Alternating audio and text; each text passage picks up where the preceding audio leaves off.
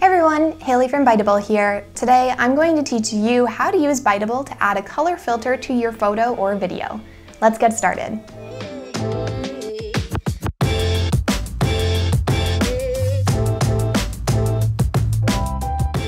So here I am on the Biteable homepage. I'm going to go ahead and log in.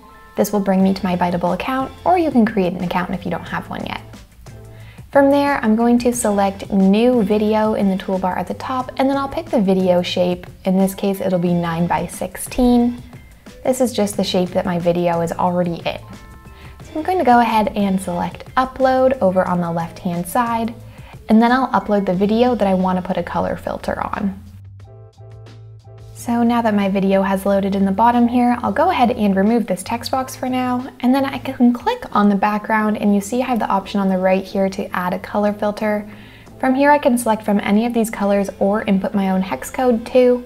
And once you select the color, you'll be able to change the opacity of it, so you can make it extremely dark or you can lighten it up a little bit however intense you want that filter to be. And adding the filter just makes it really easy for people to be able to read a text on your scene while still having a nice image in the background. So there's a quick preview of what some of the colors will look like. And then once you're ready to add the text to your scene, just go ahead and click add caption in the timeline.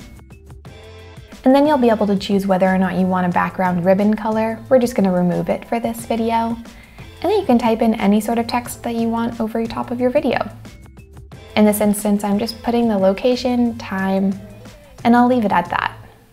You can also change the size using the toolbar on the right hand side, and then drag your text to reposition it in your frame. I'm gonna make that just a bit bigger.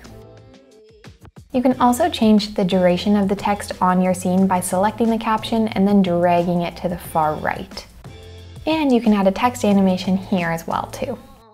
If you wanted to add a background music track, we have over 80 different tracks for you to choose from and they're all copyright free. And then go ahead and click play to watch your new video.